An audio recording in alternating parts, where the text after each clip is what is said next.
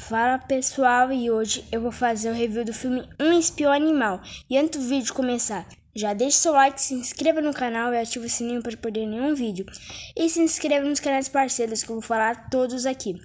O canal Top Cine, Cine Gameplay, um colecionador normal, um nerd preguiçoso, é, é Super Gatos King e Davis Donetes Dias e apenas um colecionador. Oi pessoal, eu quero aparecer no vídeo aqui e eu não apareci no último vídeo porque eu tava descansando. Ok? Tá bom, tchau. E aí você me pergunta, ué Anthony, você não já fez o review desse filme?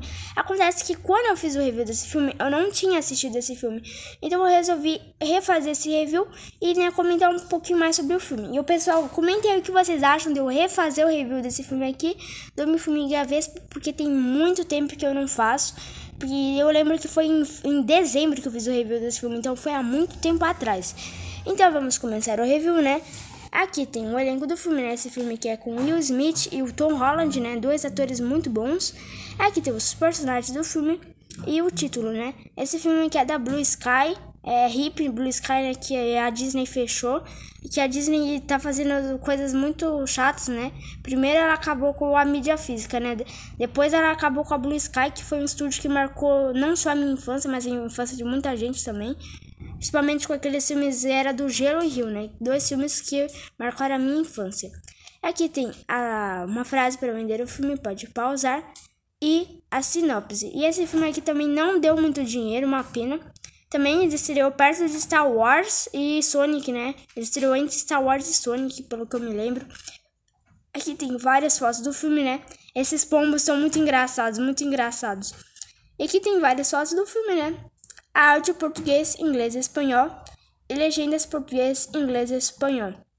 E como sempre, a Disney não estava colocando é, bônus nos DVDs, né? Porque nos Blu-rays ela coloca, colocava, né? Uma pena que ela não vai mais fazer, né? É, aqui tem várias informações, né? Esse filme aqui, é, como eu falei, não deu dinheiro e por mim tinha que dar dinheiro, né? E aqui tem o disco, né? Aqui. disco bem bonito, né? Eu gostei desse disco. É assim, um pouco sobre esse filme. Eu gostei desse filme. Eu achei que eu vou dar para esse filme nota 8, porque eu não acho que ele é um filme mil maravilhas, mas eu acho que ele é um filme bom. Então, eu recomendo se vocês quiserem assistir esse filme.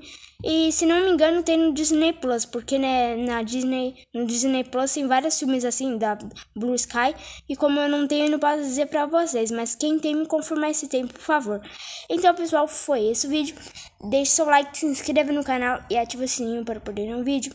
E tchau! Tchau, pessoal! E!